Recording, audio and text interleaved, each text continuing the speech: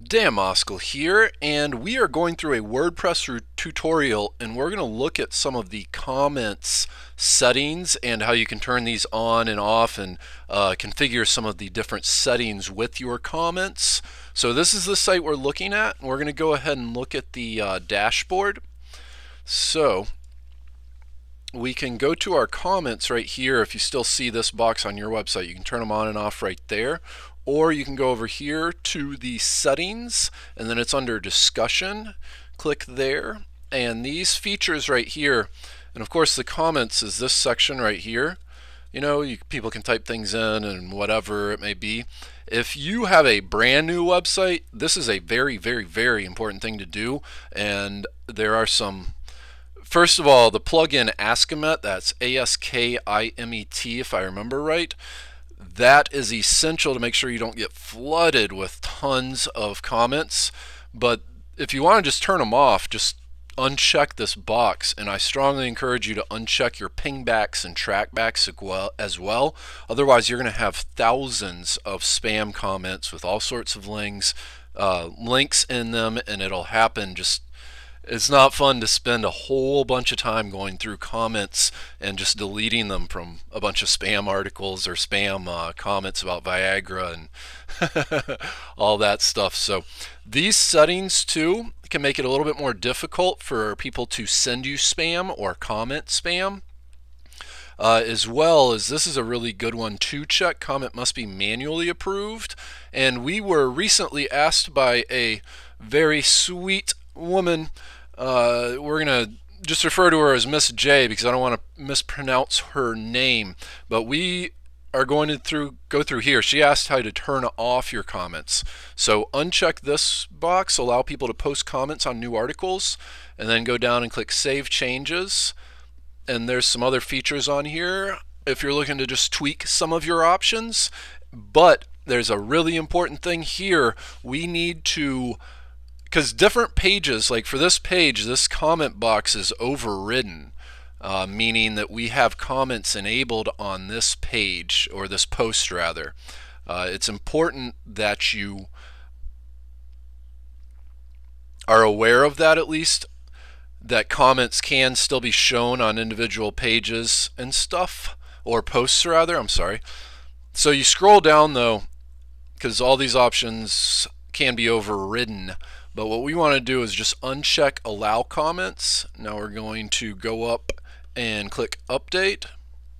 So to turn them off, you need to turn them off in the settings tab at the discussion level and then they should automatically already defaulted on new, especially new posts, but any old posts where you see the comment box still enabled, just go in and edit the page and you're going to have to turn it off manually, like override it for that particular page.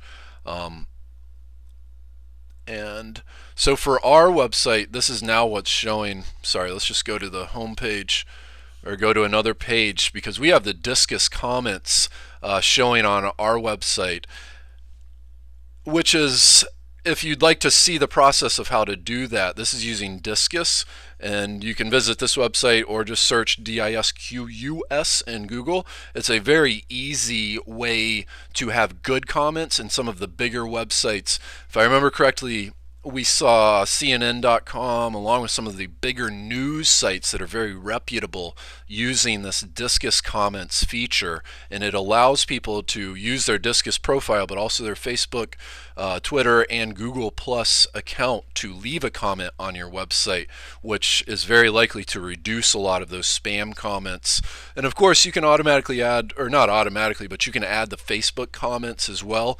If you'd like to see any of these other comment features or the Disqus actually how to go through that process, just leave a comment below and I'll be happy to go through that process for you. But you can see we don't have any of the WordPress default comments anymore on these pages or these posts.